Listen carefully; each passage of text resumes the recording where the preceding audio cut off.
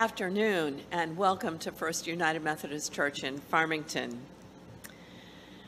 Our devotion from the upper room comes to us this morning from Doreen Alvarez of Florida. Doreen begins with a citation from the Psalms, the 94th chapter, verses 16 through 19. Who will rise up for me against the wicked?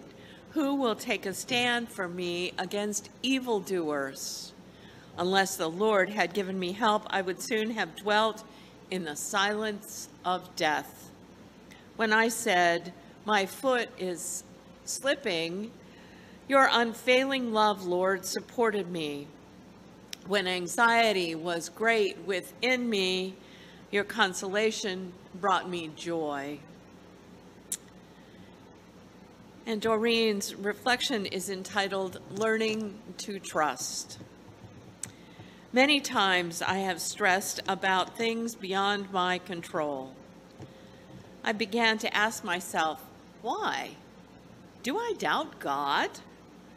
Then my friend suggested that when I felt stressed and worried over something, I should write it down, put it in a God box, and stop fretting about it. One day I was stressing over things I could not control, so I tried it. I wrote my worry on a piece of scrap paper, prayed, cried, and put it in the box. I may have prayed a few more times, but eventually I forgot it. Whenever a new issue came up, I put it in the box. And when I eventually decided to empty the God box, I couldn't remember a single thing that I had written. Over the years, I have grown in my faith and no longer need a physical God box. I am better able to surrender my worries to God and trust that God cares for my concerns.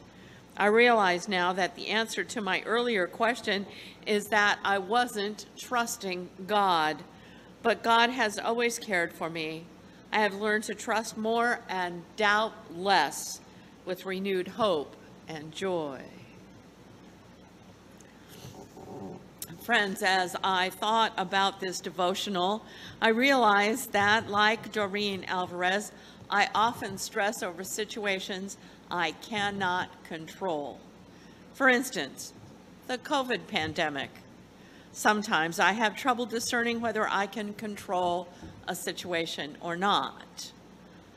I can control my own behavior about vaccinations and masks and distancing, but beyond that, I can't control or even influence the spread of that disease. Sometimes I forget to trust God not only with those situations that I can't control, but also with discerning the difference Furthermore, I don't seem to relax until the situation is resolved, whether I had control over it or not. Each day I am working to trust God not only with what I cannot control, but also with discerning whether something is in my power or not.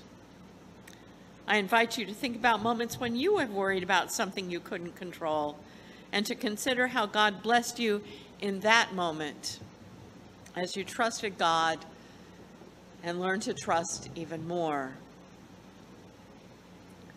Doreen Alvarez's prayer focus is to trust God with my worries. Her thought for the day is, I can grow in my faith by trusting God with my concerns.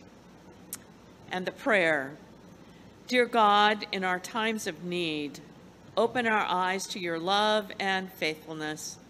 Help us to grow in our faith by surrendering our struggles to you. In Jesus' name, amen.